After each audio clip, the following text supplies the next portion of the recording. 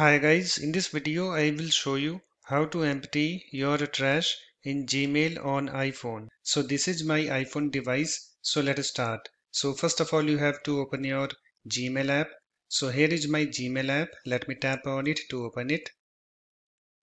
It's now opened and you can see guys I'm already logged into my Gmail account. If you haven't just log in. And after that just tap on this three horizontal lines this menu icon at the top left. And then tap on this trash in this menu. And you can see guys my gmail trash is now opened. Okay? So to empty your trash in gmail just tap on this empty trash now this link. Okay? So let me tap on it. And i have this pop-up. You are about to permanently delete all items.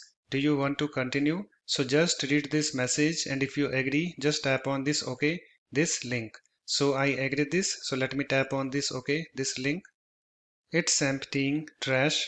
And you can see guys, trash is now empty. You can see nothing in trash. So it's now done. After that, you can go back to your primary inbox. So just tap on this menu icon and then tap on this primary or you can also close your Gmail app. So let me close that. So that's it. In this way you can easily empty your trash in Gmail on iPhone. If you like my videos, please support this channel by subscribing to it. Thanks. Bye bye.